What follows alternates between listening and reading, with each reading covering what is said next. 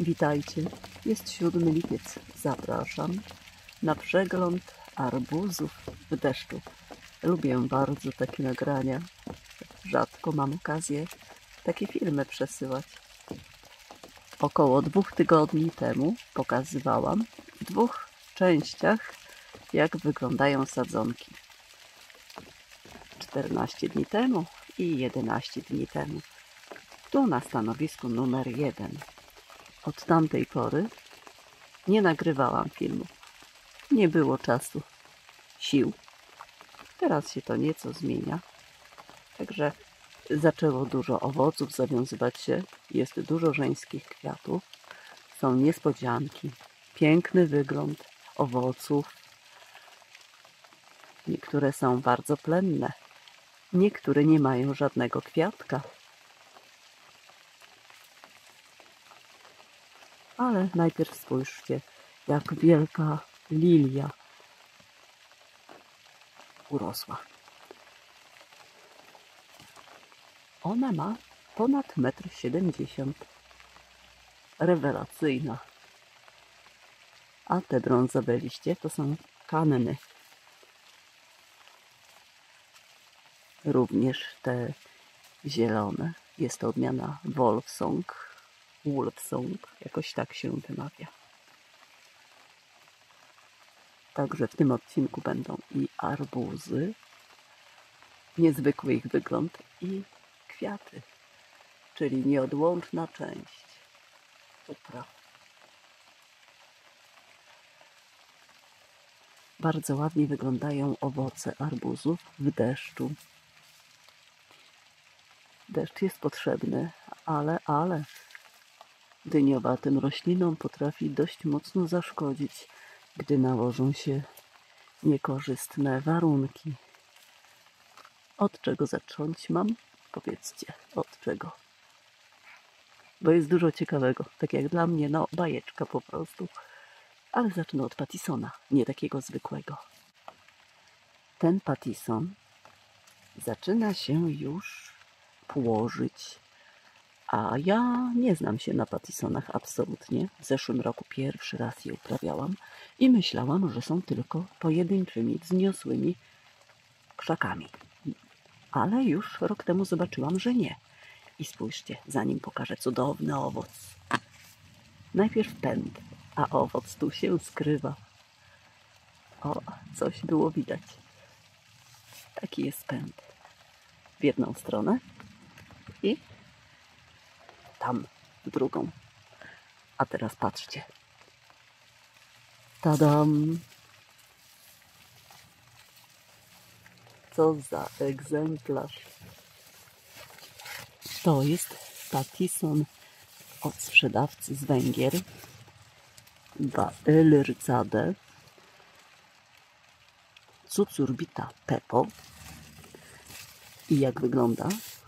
Jest to dwupalczasty, kremowy. Mam również taką sztukę, tylko bez owoca, w kolorze zielonym. Od holenderskiego sprzedawcy. Spójrzcie, no piękna sztuka. Ja nie chcę go jeszcze zerwać, choć już można. Czekam, aż większe paluchy wytworzą się.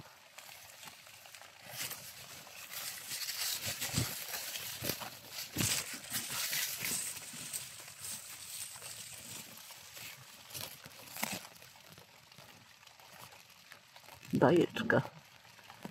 Co za świat przyrody.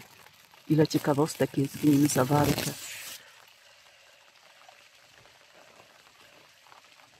Na tej sadzonce już był owoc, ale on zgnił. Od samego początku miał ciemno-brunatny kolor, brzydki, nieładny. I można go zobaczyć na filmie o ogórkach sprzed kilku dni. A to żółto-owocowy dereń jadalny. Odmiana flawa. Mnóstwo owoców ma. Jeszcze miesiąc będą gotowe do zbioru. One opadają. Owoce tej odmiany opadają. Ale zacznijmy. Trochę trudno będzie mi nagrywać, bo tutaj, prawda, sąsiedzi z jednej strony mieszkają, z drugiej rozmowy toczą się i mogę wątek gubić, robiąc pauzy w nagraniach, bo tak raczej nie każdy chciałby słyszeć, prawda, rozmowy, które się toczą po sąsiedzku. Dlatego jakoś tam to nagranie wyjdzie. Mam tu pudełeczko z odmianami, które wysiałam. Być może, że są wszystkie tu zawarte, chyba że gdzieś opakowanie mi się zawieruszyło. Jeszcze nie podliczyłam. Kolego Marko, pytałeś kiedyś. Jeszcze nie podliczyłam, ile odmian mam fizycznie posadzonych. Zrobię to. Będzie więcej czasu, to zrobię. Słuchajcie, chcę zacząć od odmiany numer 104. O tym, jak mogą nie powielać cech arbuzy. Jeżeli jest to odmiana oznaczona symbolem F1 i zostanie zapylona pyłkiem z innej odmiany arbuza, wówczas może nam powstać coś nieprzewidzianego. I takich przykładów w tym roku będę miała całkiem sporo, ponieważ wysiałam nasiona zebrane przez siebie w poprzednich latach. A że odmian mam bardzo wiele i nie pilnuję, nie kontroluję zapylenia, to też i są różne już niespodzianki. Co prawda, owoce jeszcze urosną, zmienią swą postać, ale już teraz jest widoczne to i owo. Dużo chciałabym powiedzieć, pokazać, tylko no nie zmieści się to w jednym filmie. Także dla zainteresowanych ponagrywam odcinków pewnie dosyć sporo. Trudno mi powiedzieć ile. Jeżeli macie Państwo te odmiany, porównujcie, pytajcie, opowiadajcie o swoich. I teraz zobaczcie. W tym dołku posadzone są dwie sadzonki. Nareszcie pierwszy raz w życiu, a trzy lata próbuję uzyskać ten owoc.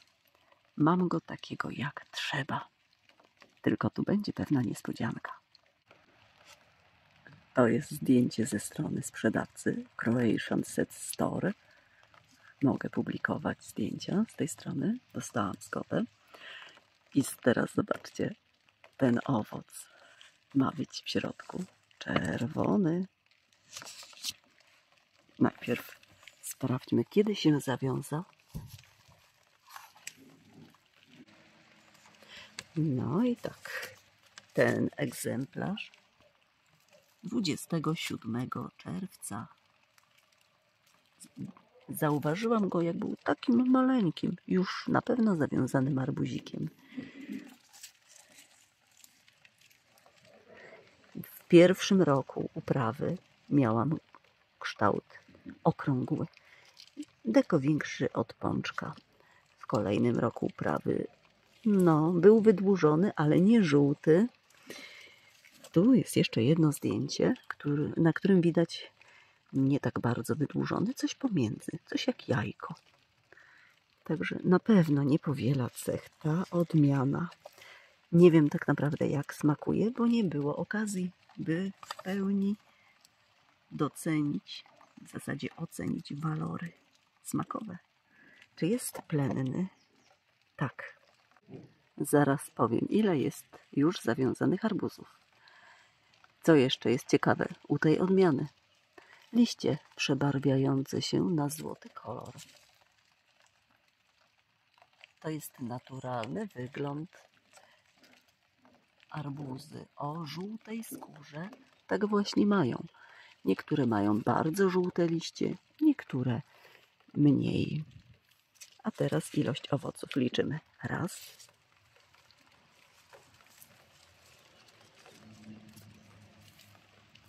dwa. Z parasolką troszkę trudno, bo ręki brak. Ten owoc datę zawiązania ma 26 czerwiec.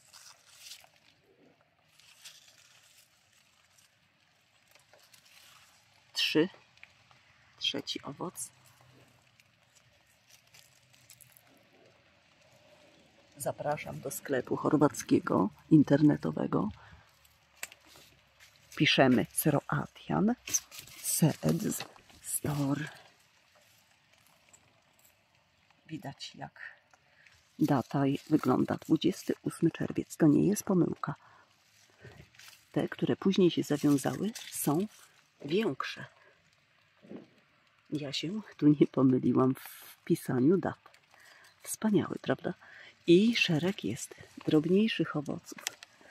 Czyli już trzy są takie duże.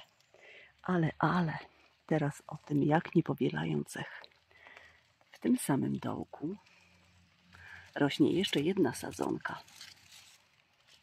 Ta. Nasionka wyglądały identycznie. I spójrzcie, jak wygląda owoc na innej sadzonce. Zaraz momencik. Oj, bo tu szczepiają się ze sobą pędy. O, już uwolnione. To jest również Yellow Wonder. Zawiązany 28 czerwca, a wygląda już tak. Tak jak mówię, z mojej strony nie ma mowy o pomyłce i sądzę, że u tego sprzedawcy, jestem pewna wręcz, że u tego sprzedawcy również nie ma mowy o pomyłce. Kupowałam od niego wiele razy, wiele naprawdę przesyłek i miałam raz niespodziankę tylko w przypadku odmiany Surprise oraz właśnie tu. W innych przypadkach zgodność jest. Więc tu też, tu się pewnie zadziało to coś niepożądanego, gdy chcemy zachować czystość odmianową. No, to taka ciekawostka. Tak jest w przypadku innych arbuzów. I teraz sadzonki policzę, przepraszam, owoce. Ile ich jest? Tu jest drugi, ale już jaka sztuka duża. 27 czerwca zawiązany. Yellow Wonder. Tak.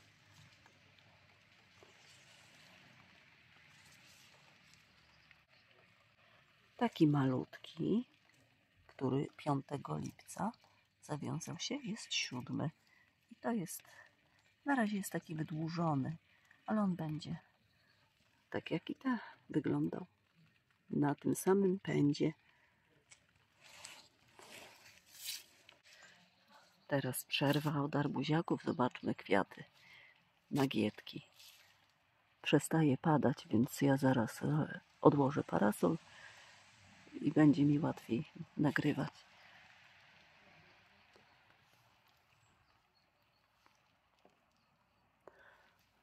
Odmian nagietków jest bardzo wiele. Przynajmniej sześć, przynajmniej. Kilka będę miała. Później pokażę, jak zacznie się już, wiecie Państwo, ta burza kwitnienia. A to jest cynia marylandzka.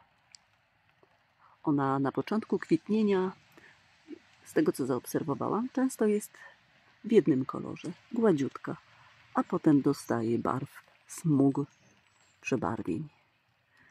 Piękne potrafią tworzyć się y, te kwiatostany. Ekstra są, słuchajcie ogórecznik lekarski. Tu już pędy mu ucięłam część, bo nie było jak przechodzić. A pszczół na nim, czy innych brzęczących owadów od groma.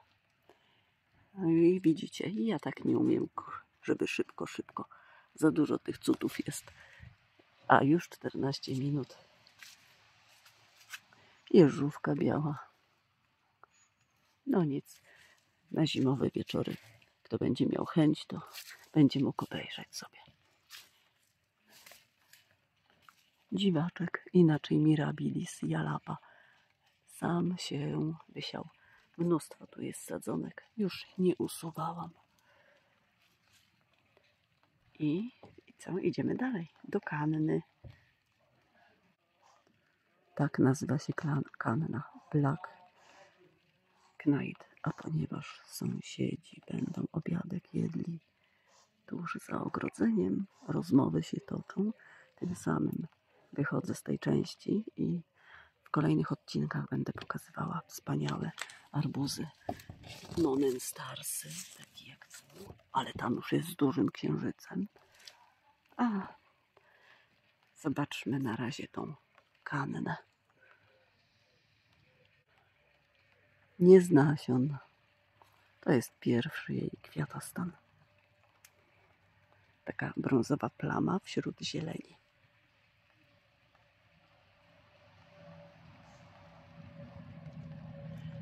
I koniecznie ogórecznik lekarski. Nie jest łatwo być operatorem. Kolejne nagietki. Takie zwykłe. Prawie że zwykłe. To co, może jeszcze paręnaście, parę minut dogram w tamtej części początkowej. Przestało padać.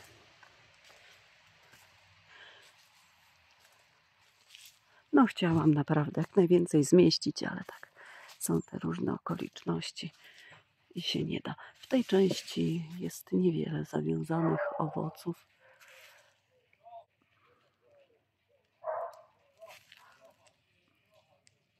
No, piesek teraz.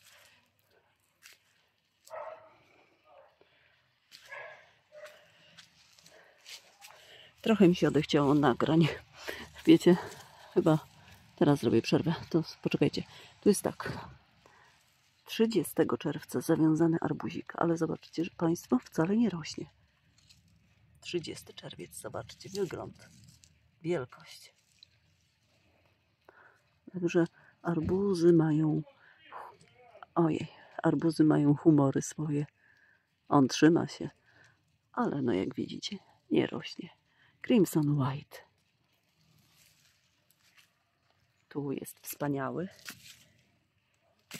Bardzo podobną skórę ma do odmiany Charleston Grey, ale to jest odmiana o nazwie Kratos z litewskiego sklepu internetowego Arbuzu Seklos.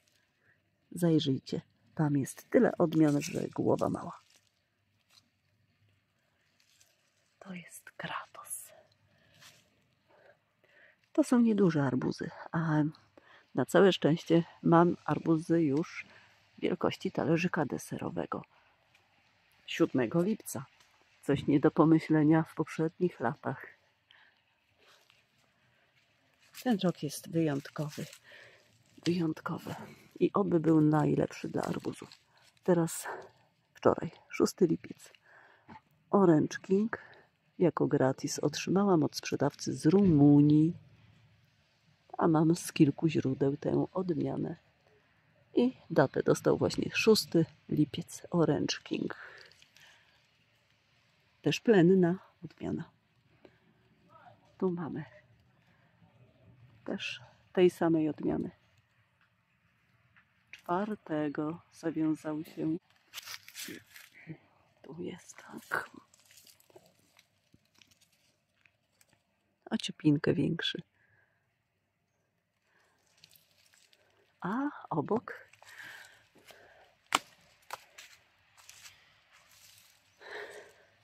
czwartego lipca zawiązany jubilę. Kolega Mike ofiarował mi. Także w tym roku dostał arbuz bardzo dobre miejsce. Liczę na to, że pokaże co potrafi. Nie tak jak rok temu. Orange King już 1 lipca zawiązany, czyli taki maluszek zauważony, a zapylenie może nastąpiło dzień czy dwa wcześniej. Tu jest, trzeba brać poprawkę plus, minus 2 do 3 dni od tej daty. No i minimum te 45 dni, 55, zależnie od odmiany. Czekamy aż do zbioru. Mi takie datowanie ułatwia zbiór.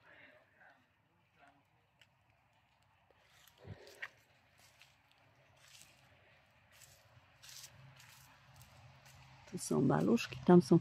Dobra, tam dalej będzie się działo. Wiecie co? Nie chce mi się nagrywać. Pozdrawiam. Później e, wezmę się za tą przyjemną robotę, ale taki moment nastąpił, że się, że się nie chce. Słonecznik ozdobny i cynia. A tu dalie. I maleńka kanna, ale z nasion, a nie kupna w sklepie United Flowers. Odmiana Red Futurity. Zaczyna kwitnąć. Czy ona będzie z niskich? Tego nie wiem. Ogólnie w tym miejscu rośliny bardzo źle rosną. Tego typu darni była tu przez całe życie. Od kilku lat po troszeczku usuwam, usuwam coraz szerzej, coraz szerzej. I tu jest skąpo nawożone, ale jest. Tylko trzeba by naprawdę mocno użyźnić, żeby było coś więcej. A tu pomidorasy. Ten jest wełniasty w tłumaczeniu aksamitny koleś, barchatny i piżon. 22 marca na rozsadę siany. Piękne ma omszałe liście i owoce również mają mieć i mają meszek. Kiedyś nagram film również w tygodniu, w takiej fazie niedojrzałej, jak wyglądają. A później, gdy przyjdzie pora zbioru, a to, cóż to za kształt? Pomidor o nazwie konik morski. Konik morski. Taki. Raz go siałam z oryginalnych nasion. Z oryginalnego opakowania są nasiona. W zdecydowanej większości. Na tym kończę i do widzenia. A to mega groniasty czerwony. Bomba. Ten diabeł był silny rok temu. Rósł tu i do samego sufitu szedł, szedł, zakręcał.